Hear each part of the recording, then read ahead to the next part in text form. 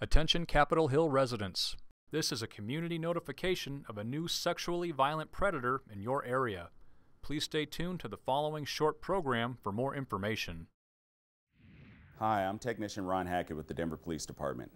The Sex Offender Registration and Compliance Unit at DPD is responsible for the registration, monitoring, and tracking of all registered sex offenders and sexually violent predators who live in the City and County of Denver.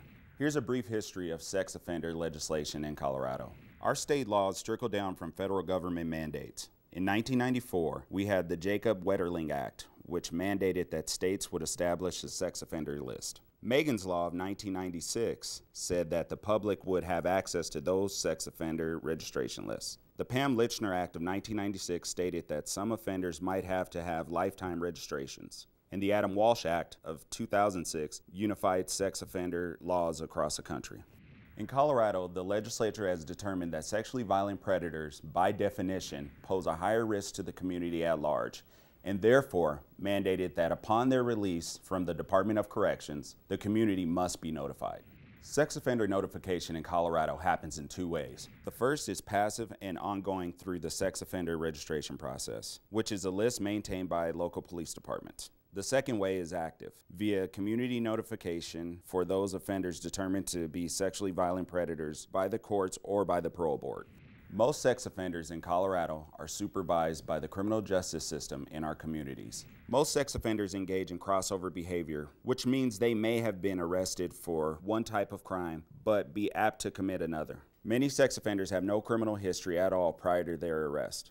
There is no typical sex offender, but all tend to be deceptive, manipulative, and secretive. 80 to 93% of sex offenses are committed by someone known to the victim. Sexual deviancy begins in mid to late adolescence. Sex offenses are not impulsive. They are usually carefully planned, and most sex offenders are male. The community has a vested interest in helping offenders to be successfully managed in the community. Sex offenders have the same need for housing and employment as any other citizen. Any citizen who uses sex offender information to harass, threaten, or intimidate an offender will be subject to criminal prosecution. There are approximately 16,500 registered sex offenders in the state of Colorado. About 65% of convicted sex offenders are placed in the community on probation. The remainder are in the Department of Corrections or Community Corrections. Offenders may be caught for one type of offense, but be at a high risk to commit another type. Crime of conviction is only one indicator of risk. A sexually violent predator must register with the Denver Police Department Sex Offender Registration Unit every three months for the rest of their life. The offender's residence must be verified quarterly by the Denver Police Department. The full sex offender registration list is available by calling the Denver Police Department Identification Bureau at 720-913-6756. Convicted felons and those with multiple convictions are posted online at denvergov.org slash police. Remember, sexually violent predators do not represent all dangerous sex offenders. The community notification process and sex offender registration are not a complete deterrent to sexual assault. Now, here's a look at the newest sexually violent predator living in Denver. Here's an overview of the registered sex offenders currently living in Denver. There are 2,589 total living within city limits. In Denver Police District 6, there are 479. Precinct 623 has 80 registered sex offenders. Of those, 57 have felony convictions and 23 have misdemeanor convictions. Kevin Michael Watkins is a sexually violent predator currently living in Denver. He's 56 years old and was born on August 5, 1964. He's a white male, 5 feet 9 inches tall, 140 pounds, with brown hair and blue eyes. He's currently living at 1272 Pennsylvania Street, number 13B, in the Capitol Hill neighborhood of Denver.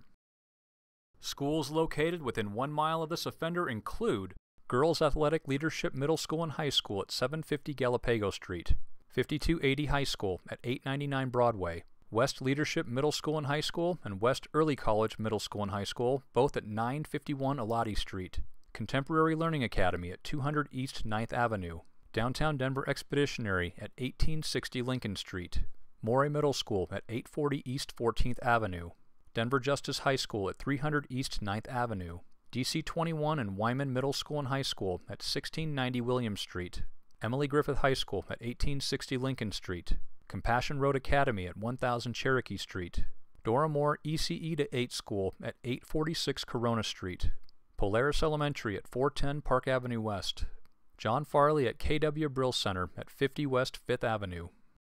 Parks located within one mile of this offender include Sunken Gardens Park, Benedict Fountain Park, Cheesman Park Esplanade, Denver Botanic Gardens, McIntosh Park, Zeckendorf Plaza Park, Grant Humphreys Mansion Park, Pioneer Monument Park, Quality Hill Park, Governor's Park, Park Avenue Parks, Civic Center Park, Cheesman Park.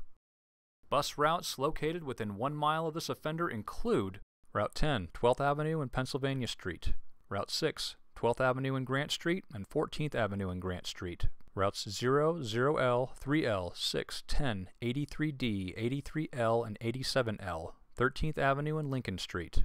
Routes 6, 15, 15L, and 16, Colfax Avenue and Sherman Street. A brief history of charges against this offender. Sexual assault on a child.